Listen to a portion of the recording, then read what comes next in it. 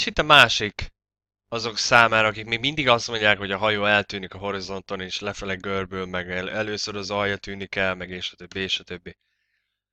Amennyiben hogyan egyrészt ugye, ha itt nincs hajó most a horizonton, akkor hova tűnt a hajó? Ugye nyilván eltűnt a horizonton, hogyha nem látható. És hogyha ez így van, akkor hogyan lehetséges az, hogy egész egyszerűen visszatér, ha már egyszer eltűnt a horizonton csak azért, mert csak azért, mert létezik olyan, hogy zoom. Ha van zoom, ha nincs zoom, annak a hajónak el kellett volna tűnnie a horizonton, szóval hogy lehetséges az, hogy most újra feltűnik. Hogyha így magyarázta Columbus, hogy gömb alakú a Föld, akkor hogyan lehetséges az, hogy egy erősebb zoommal vissza tudjuk hozni és újra feltűnik. Érdekes a videó, és megpróbálom elmagyarázni azt, hogy mi zajlik a képernyőn, és talán így egyszerűbb megérteni azt, hogy mi is ez a jelenség, amikor a hajók a horizonton eltűnnek. Ugye amennyiben rázumolunk, akkor visszatér mind a két hajó, ezúttal két hajó található a horizonton, és ez a hullámfrontnak a határa, ez a vonal. Ami annyit tesz, hogy ugye az utolsó látható víz front vonal tulajdonképpen. A rózsaszín vonal egy úgynevezett tükör vonal, ami a víz felett képződik, amire visszatükröződik a víz felület. Ez a rész pedig a hullámfront és a tükörvonal között, ami képződik a hajó alatt ez a rész, amit láthatunk ezen a képen. Egyértelmű, hogy a tükörvonal alatti rész az nem a hajó része, azonban úgy tűnik, mintha a hajó része lenne, hiszen oda tükröződik. Másik dolog az, amit megfigyeltünk ezen, hogy ez az árbóc teteje, illetve a hajó hídjának a felső vonala közti távolság, ez az egyik, amihez viszonyíthatunk, illetve ez a két viszonyítási pontunk. Ugyanúgy, ahogy a fedélzet vonala, illetve maga a hajó házának a vonala, tehát van a, az árbóc teteje, a híd, a ház, illetve a fedélzetnek a vonala. Az árbóc jelképezi tulajdonképpen az egy harmadát a hajó magasságának, hiszen itt van maga az árbóc, még egyszer, és még egyszer egészen le az úgynevezett tükörvonalig, ami ez a rózsaszín vonal a kép alján. Amennyiben megfelezzük az árbócot, nagyjából ott található ez a, az akármit keresztbe, ez kb. egy hatoda lesz, valamivel kisebb, egy hatoda lesz a hajó teljes magasságának. Egy érdekes jelenséget figyelhetünk meg, az pedig az, hogy ez a hajó nem is, nem is lassan közlekedik, hiszen látszik a másikhoz képest, hogy távolodik elég gyorsan. Ez az egyik dolog, tehát a hajó távolodik elég nagy sebességgel, ez a nagyobb darab a egyértelműen közelebbihez képest. A másik pedig az, hogy míg a hullámfrontnak a teteje ugyanott van, addig a tükörnek vonal egyértelműen máshol helyezkedik el a két hajón, és a hátsó hajón sokkal nagyobb az a rész, ami tükröződik úgymond, mint azon a hajón, amelyik közelünkben van. És újra lehet látni ezen a képen, míg ezen a hajón itt elől közelben nincsen annyi tükröződés, a másik hajón pedig egyre nagyobb az a felület, ami visszaverődik. A tükröződésen kívül van egy újabb réteg, ami a víz pára miatt eltorzítja a látási viszonyokat, és ez nagyszerűen látszik ezen az árbócon, ami megfigyelhető a hajó mellett. Nagyszerűen megfigyelhető mind a tükröződés, mind pedig a torzítás jelensége, amikor is egy hajó elhalad, elhalad a háttérben. Ezen a képen. Illetve a következő képen. Most ugye a kérdés természetesen felmerül, hogy egyáltalán mit keres ott ez a hajó, hiszen ez a mi hajónk mögött halad el, és már a, a, a nagyobbik hajó is csak a zoom segítségével volt látható, akkor hogyan láthatjuk ezt a... Hogyan térhet vissza a görbületből, vagy hogy lehet ott egyáltalán ez a hajó bármelyik, és hogyan látható, amennyiben görbül a föld.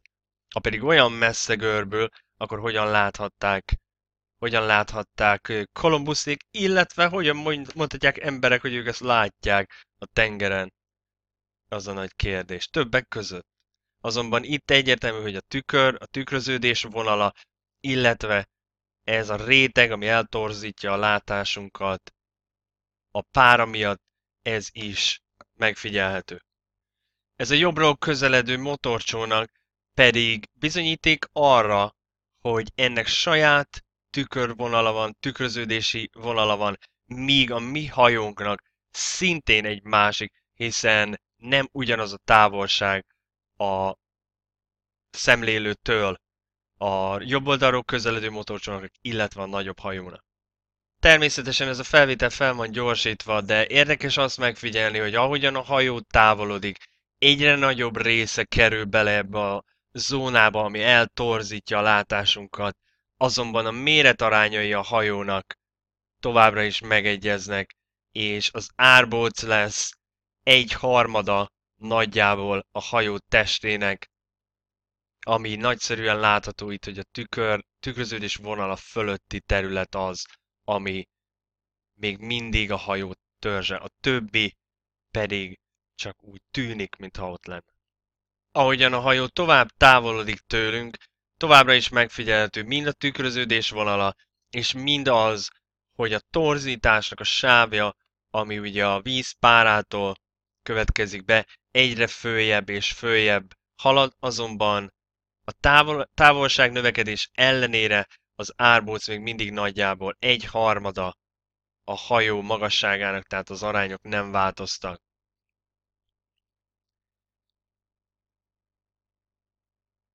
Azonban a következő, ahogyan tovább távolodik, ismét csak megnézzük azt, hogyan halad egyre följebb és följebb, egyre inkább eltorzul a hajó, de továbbra is megmarad a méretarány, a zöld vonal, ugye a megpróbálom megállítani, ott a zöld vonal az a vonal, amed, ahol a torzulás látható, az a sáv, és a méretarány továbbra is ugye az árbóc egy harmada a hajó testnek. Amennyiben engedjük, hogy tovább távolodjon a hajó, azt fogjuk megfigyelni, hogy egyes részei teljesen beleolvadnak már abba a vonalba, ami, ahol a tükröződés található, és a, ez a torzítás és sáv egyre följebb és följebb csúszik a hajó testén. Ez az a pont, ahol látjuk azt, ahogyan elmosódik teljesen a hajónak az alsó része.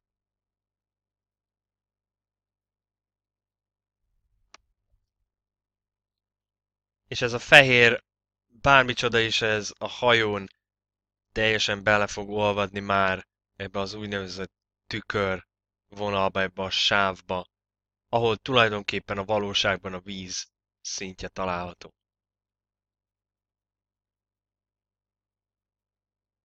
És egyre kisebb és kisebb lesz, ahogyan egyre inkább torzul el maga a hajó. Illetve az, amit látunk belőle. A kép érdekessége, illetve a videó érdekessége azonban itt már az, hogy ahogyan távolodik a hajó tőlünk, azt veszük észre, hogy ez a torzítás, illetve ez a lencseszerű szerű hatás, amit a, a pára kifejt, azt eredményezi, hogy a hajó teteje megnyúlik az aljához képest, ahogyan a hajó távolodik el tőlünk. Ezt szemlélteti ez az ábra, hogy a méretarányok eltorzultak valamelyest.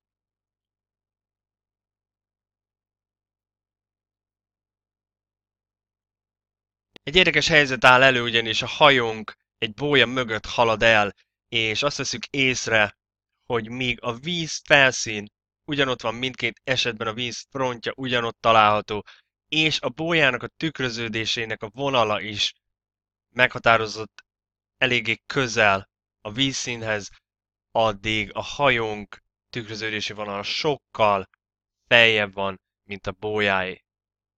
Felhívnám mindenki figyelmét arra, hogy közben itt rohan az idő, és ahogyan távolodik a hajó, sokkal kisebb lesz az egész, rohamosan csökken a mérete, ahogyan a távolság nő a szemlélő, illetve a hajó között. Még egy dologra felhívnám figyelmet újra, hogy a hajónk rohamosan távolodik a parttól, és jelentős sebességgel halad elfelé. Tőlünk ez ugye ismét csak azt mutatja, hogy, a, hogy a, az árbóc felső fele hogyan viszonyul, illetve hogy mennyivel magasabban is van a hajónak a, a tükröződés vonala a hajó testen, mint a bóján. Ahogyan a hajó közben távolodik és egyre csökken és csökken a mérete, ugyanúgy ahogyan eltorzul a torzítási hatása miatt a víz párának.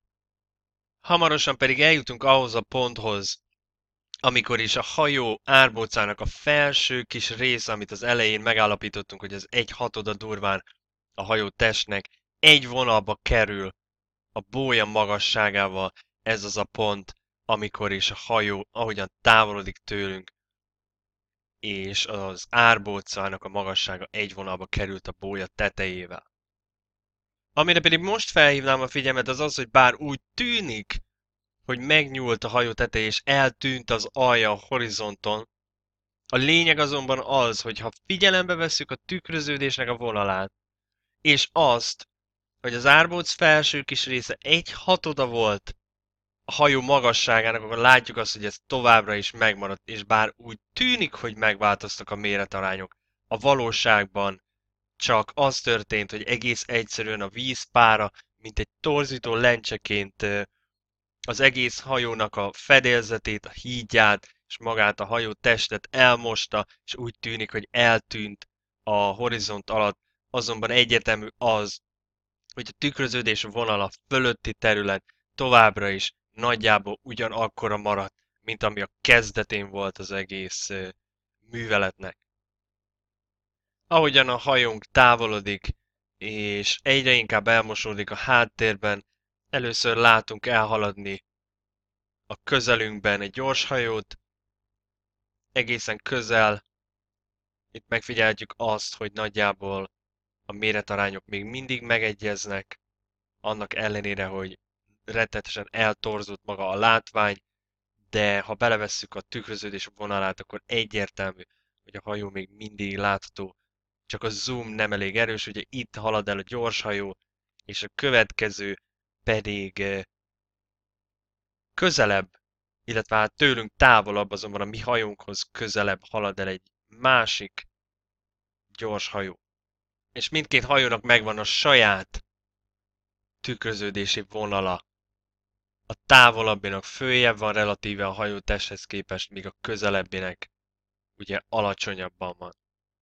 Kép érdekessége az, hogy bár úgy tűnik, hogy a hajó alja eltűnt a horizont vonala alatt, illetve azon túl, a hajó továbbra is jelen van, csak egyszerűen nem látszik, hiszen a víz egyre nagyobb és nagyobb réteg vízpára kerül közénk, illetve a hajó közé is ez eltorzítja, azonban a méretarányok mutatják azt, hogy a hajó még mindig ott van, csak egész egyszerűen nem látjuk a torzítás miatt.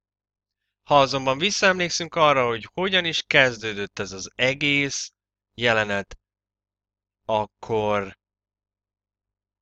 eszünkbe jut az, hogy már akkor sem volt semmi a horizonton, mikor elkezdtük nézni az egész videót, és az 18 perce volt. A lényeg azonban az, hogy a hajó ezúttal már kisebbnek tűnik, mint a bója, és az árbóc még mindig egy harmada nagyjából a hajó testnek ezen a képen is, illetve hát ezen a, a megállított jeleneten is. Tovább telik az idő, és eh, ahogyan haladnak a percek, látjuk azt, hogy bár úgy tűnik, hogy nincs semmi a horizonton, és így is indult az egész jelenet, még mindig képesek vagyunk látni a hajót, ahogyan használjuk a kamera zoom funkcióját. Ahogyan pedig a hajó egyre inkább beleolvad a távolba, és egyre inkább eltorzítja a víz réteg, ami lencseként funkcionál, azt vehetjük észre, hogy teljesen mindegy, hogy mennyire messze található a hajó tőlünk. Az a kis része, ami, amit az elején megállapítottunk, hogy az egy hatoda az árbócnak, az a kis része, az egyhatoda a hajótestnek az a kis rész még mindig egyhatoda annak, nagyjából annak a hajótestnek, ami a tükröződés vonala felett található. És ez azért van, mert a hajó még mindig ott van, csak egyszerűen eltorzul, és a látási viszonyok miatt van az, hogy úgy tűnik, hogy eltűnik a horizonton.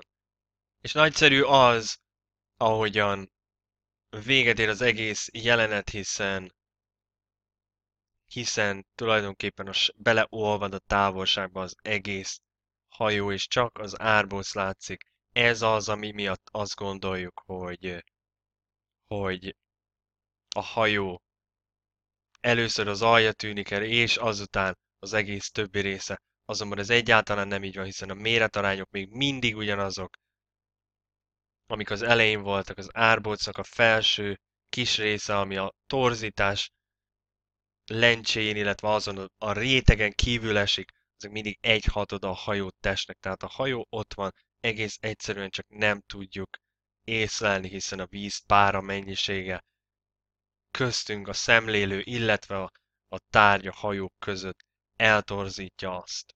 És ha már itt tartunk, akkor nézzük meg, hogy hogyan is tűnik el végképp a hajó és az árbóca és az egész a látóhatár, illetve ahogyan ki kiér a látó teréből ennek a zoomnak az egész hajó. Ennek semmi köze nincsen ahhoz, hogy a Föld gömb alakú, hiszen már a kezdetekkor sem láttuk a hajót, és még mindig képesek vagyunk észlelni azt. Ez egész egyszerűen csak annak a függvény, hogy milyen erős a zoom, és hogy mennyi, mennyi vízréteg és pára található köztünk a szemlélő, illetve a tárgy között. Ennek semmi köze nincsen ahhoz, hogy a Föld gömbölyű egész egyszerűen így működik az ember látása.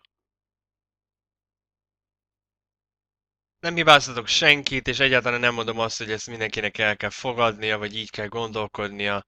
Én biztos vagyok benne, hogy ezek a képek, amiket egész életünkben láttunk, a filmek, mindez a programozás nem, nem fog elmúlni egyik napról a másikra, és én azt javaslom mindenkinek, aki meg akarja érteni, hogy kutassa, és ha valamit rosszul mondtam, az nem azt jelenti, hogy ez nem így van, egész egyszerűen én sem tudok mindent, de egy biztos, és az az, hogy minden, ami hivatalos vélemény, különösen olyan horderejű dolgokban, mint az, hogy hol élünk, vagy hogy másik bolygókra megyünk, politika, az oktatás, a média, ez mind-mind hazugság, mindig is így volt, és mindig is így lesz.